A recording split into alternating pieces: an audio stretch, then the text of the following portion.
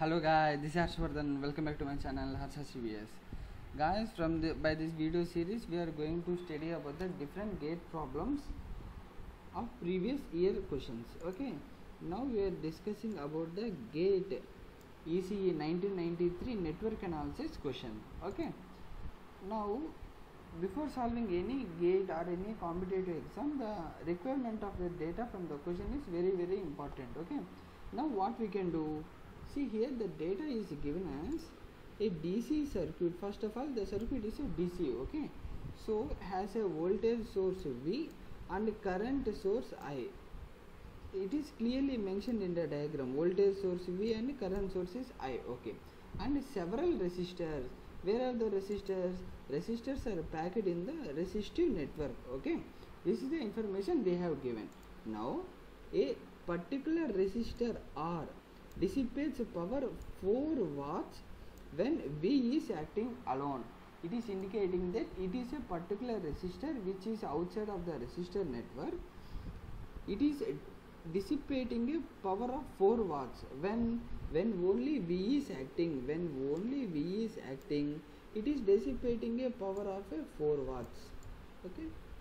So in this case the current source is open circuit. Okay as the current source is open circuit only v is acting so it is delivering the sorry it is dissipating the 4 watts of power now in the case 2 what they have mentioned the same resistor R dissipates power of a 9 watts when I is active alone. Now what they have mentioned? Now there is no V, there is no voltage source, there is only a presence of current source. Now the, the same resistor will dissipate the power of a 9 watts. Now the question is the power dissipated by resistor R when both sources are active will be. Now what they are asking assume that if they are if the both v is acting and simultaneously i is acting then what is the power that is dissipated across the resistor r? It is the question they are asking see assume if if they have asked about current or voltages we can sum or add up by using algebraic equation. Like i i equals to i1 plus i2 v equals to v1 plus v2 because current and voltages we cannot algebraically. But if you if you carefully observe the equation of a power power can be written as i square r.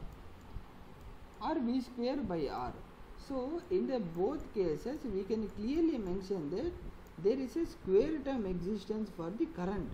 Okay from this what we can write? I equal to root p right? By r. So we can clearly mention that the current is proportional to root p but not to p. If current is proportional to p we can add it up but it is not proportional. It is the root p now for see uh, i will tell the important trick here the what we need to do.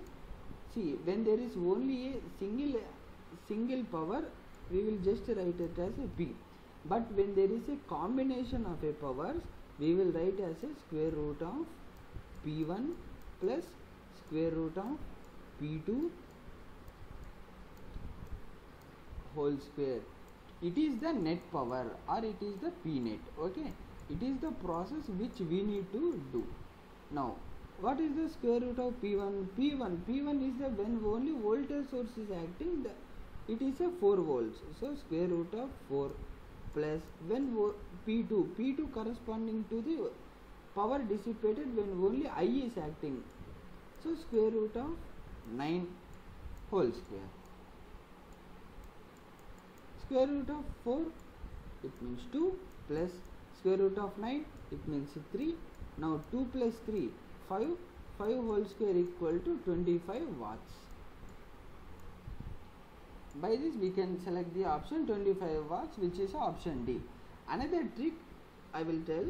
See uh, so from the from the equation we know that power can't be added or differentiate I mean subtracted individually right? So 9 for P1 P1 equal to 4 watts and P2 equal to 9 watts. We can't add both them. So 9 plus 4 13 so we can neglect this option. Second one we can't subtract the both powers. So 9 minus 4 5 volts so we can neglect this. And there is only two option which is left for us. So only selection between the two. So this is called option elimination method okay so 25 and 1 it can't be 1 why? Because the maximum voltage is 9 volts and minimum volts minimum voltage is uh, 4 as though we assume that you are subtracting it by but you are squaring it right? So it can't be a minimum value of 1 so there is only a single option which uh, which exists. It is a 25 volts. By this method also you can select the option of 25 volts guys this is for this video guys. We will meet in the next video. Thank you guys